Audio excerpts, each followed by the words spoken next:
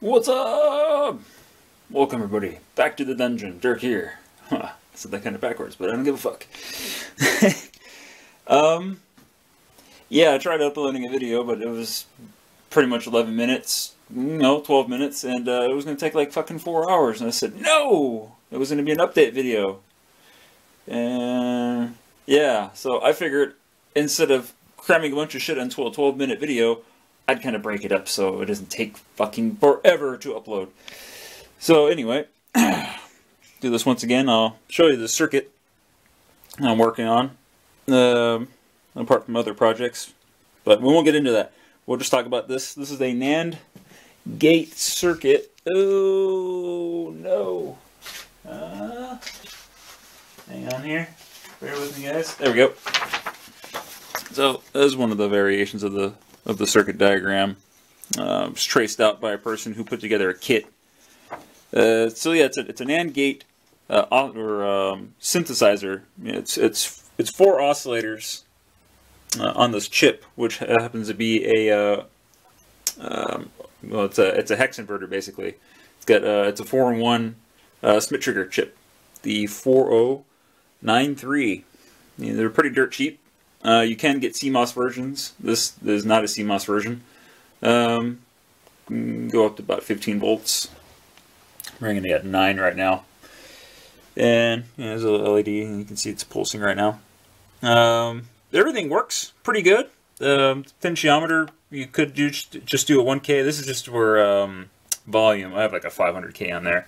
It's, you know, on the other one it states to have like 100, 100 uh, K ohm but that's way overkill. One, well, 1K ohm potentiometer is more than enough. Uh, also, I think this push button here doesn't work um, anymore.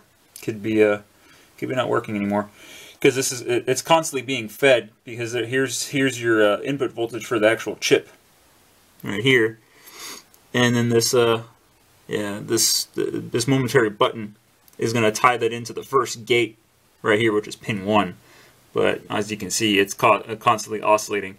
And basically, each um, each gate stage or each Schmitt trigger is its own independent oscillator um, with a, a, capacitor and a, a, potentiometer here, and they all feed into one another.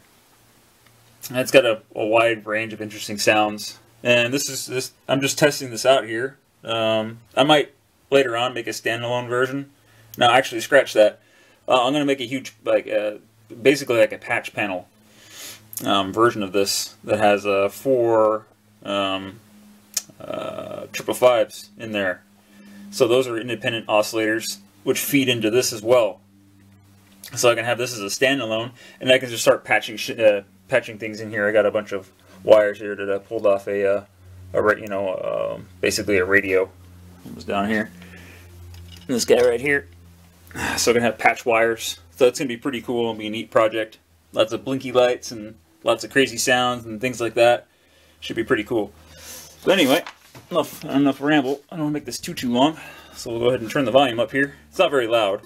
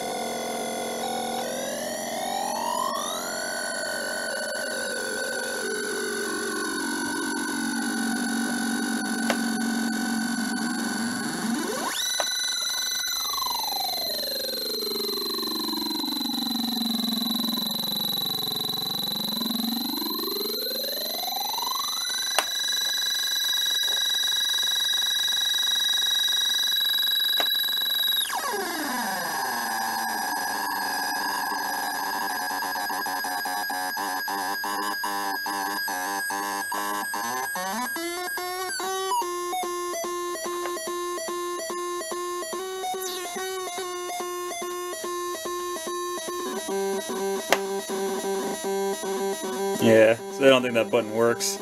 But anyway, that's the that's basically the gist of it. It's a pretty cool little circuit. Um, I recommend that anybody they want to build that. It's really simple. Obviously, there's not very much to it as far as parts. Um, but yeah, so there'll be an updated version of this soon um, with some other stuff, and uh, tomorrow I'll be working on the uh, Tesla Spirit Radio, or maybe maybe later in the evening. Who knows? I can get started. I just got my germanium diodes. This might happen to be that I pulled out of a, that, another radio board. Might be a germanium diode. I know you, I know you guys can't really see it, but uh, yeah. Anyway, cheers, guys. Thanks for watching.